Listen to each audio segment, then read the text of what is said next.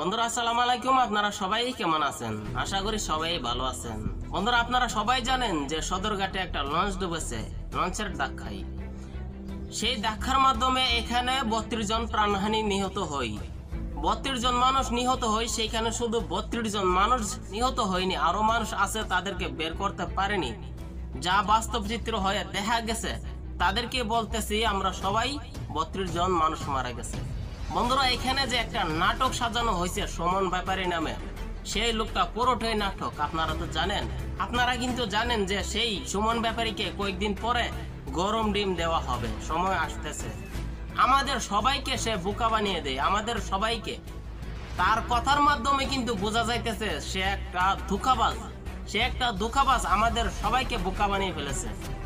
এখানে এতগুলো লোক মারা যায়, তারপরও ওর মনে কোনো একটু মায়াদয় আসেনি। যেমন রানা প্লাজার এখানে একটা মেয়ে, রেশমা নামের একটা মেয়ে। জানেন তো সেই ঘটনাটা? ঠিক ওর মতনে সে এই ঘটনাটা সাজাইছে।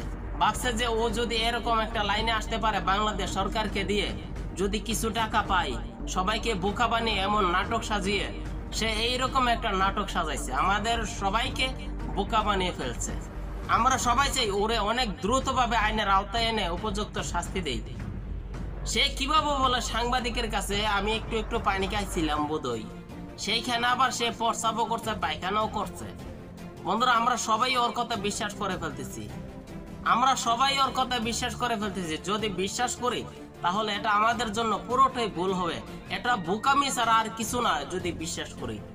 একটা লোক যদি তেরো ঘণ্টা পানির নিচে থাকে, তাহলে ওর চেহারাটা কীরকম হওয়ার উচিত ছিল? আপনারা তো বিশ্বাস করতেছেন কেন জানি না।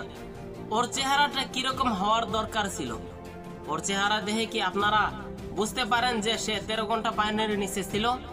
সে কীভাবে তেরো ঘণ্টা পানির নিচে থেকে নিঃশ্বাস কাটালো? সে কি নিঃশ্বাস বন্ধ করে ততক্ষণ পানির নিচে ছিল? ওর চেহারাটা একদম তেলতেলা মাখা, হাসি মুখে আছে। সে তেরো ঘণ্টা পানির নিচে থাকছে, এর মধ্যে বলতেছে সে তেরো ঘণ্টা দশ মিনিট হয়েছে ওর জন্য। দশ মিনিটের মতো লেগেছে ওর। কেমন মিথ্যাবাদী। কেমন মিথ্যাবাদী আমাদের সবাইকে ধোকা দিয়েছে। আমরা সবাই চাই ওরে যেন উপযুক্ত শাস্তি দেই পুলিশ বাহিনীরা। বন্ধুরা, আজকের জন্য এখানে শেষ দিলাম। দেখা হবে পরবর্তী ভিডিওতে। আসসালামু আলাইকুম আপনাদের সবাইকে।